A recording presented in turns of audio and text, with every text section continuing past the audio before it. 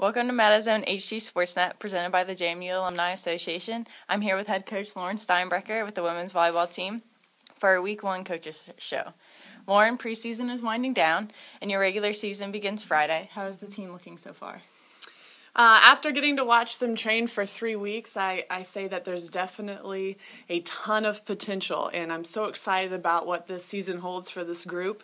Um, but to be clear, we are not there yet. Uh, we still have a lot of things to work out and improve on, uh, but the pieces are absolutely there. I thought you know, I think that our offense can be exceptional this season. Uh, our serving has been really good, just overall ball control is good, and just the ability for all of our players to embrace their roles and, and to help the team in any way they can has been huge this season.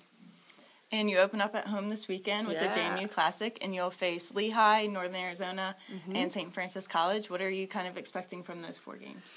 Great question. Uh, St. Francis College is our home opener, and that's the game where obviously we haven't seen them play, they haven't seen us play, and it's all about what you do on your side of the net. And so we need to play disciplined volleyball, you know, really good ice sequencing and take care of the ball, and then be able to make changes and see trends as the match goes on um, to stop their key players and key rotations and such. So um, really that'll be fun just to just to play volleyball, straight up volleyball.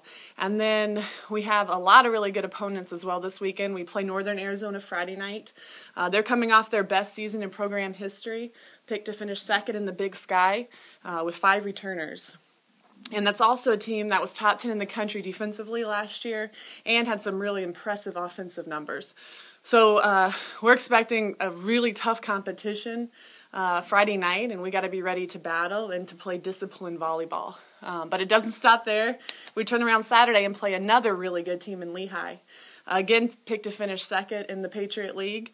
Uh, a lot of key returners and coming off another 20-win season, well coached, and I mean we're gonna we're gonna have to be ready to battle this weekend. Mm-hmm.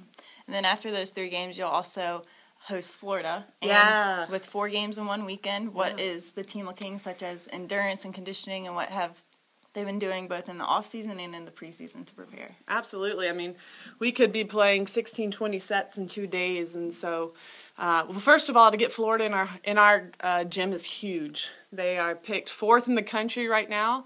Uh, we'll have the opportunity to play against future Olympians and a national championship contender, and so we're super excited. It's fun to play those teams anytime, but to play them on our home court is huge.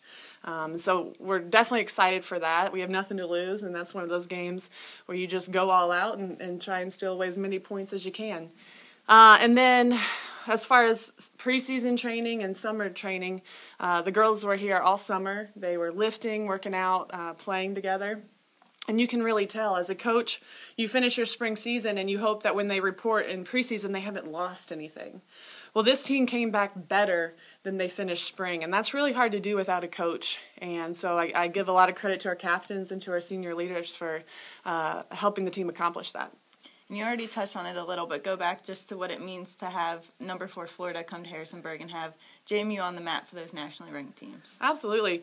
You know, I think that uh, guaranteed this is the best team that's ever played in Godwin, uh, volleyball wise. And so it's great for our community to come watch these, you know, future Olympians and high level volleyball. Um, but and it's great for our players. It's it's a great experience to say, you know, the, in five years maybe I'm watching this this person compete for our country. And so I mean they're a fantastic team, very well coached. They're going to be disciplined. They're going to be extremely physical. Uh, so we're just going to go out there with nothing to lose and, and play hard. Well, Lauren, thank you so much. We look forward to talking with you next week, hopefully with four wins under your belt, and good luck this weekend. thank you, Kelly.